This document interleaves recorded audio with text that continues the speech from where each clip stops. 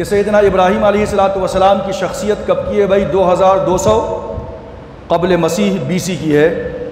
इब्राहीम वसलाम के बेटे हज़रत इसमाईल वसलाम की पैदाइश 2113 बीसी कबल मसीह की है।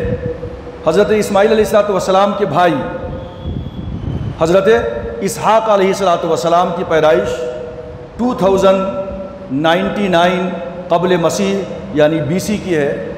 और उसके बाद फिर हज़रत इसहाक वसलाम के बेटे हज़रत याकूब वसलाम उनकी पैदाइश 2046 कबल मसीह बीसी की है। और उसके बाद फिर हज़रत यूसुफ़ वसलाम की पैदाइश 1909 बीसी कबल मसीह की है। और उसके बाद फिर हज़रत मूसा वसलाम की पैदाइश